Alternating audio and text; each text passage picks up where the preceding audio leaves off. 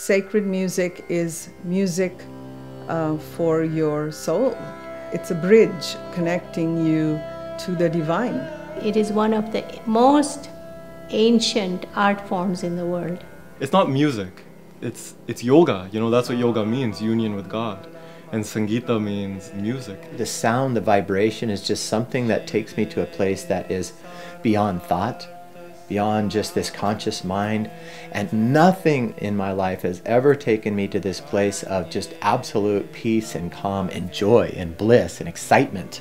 And as a young child, I remember sort of sitting in kirtan chanting, and I'd have these involuntary tears rolling down my cheeks, but they were tears of joy, tears of bliss. From singing to my guru and to the, the deities has a profound, strong impact, and so uh, I, I, really enjoy it. And it's a it's a nice way to express your love for God and your guru. One of the main missions of Sangita Yoga to bring the sacred music culture of India here. Kirtan has become a very popular word in the West now. A lot of it is not represented in the traditional way.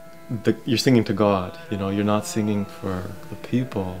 And then here was Naren showing like the, the, the harmonium and the melodies, and it was like, here is another level of, of way you can approach music and, and the sacredness of it. I don't look at Naren as a musician.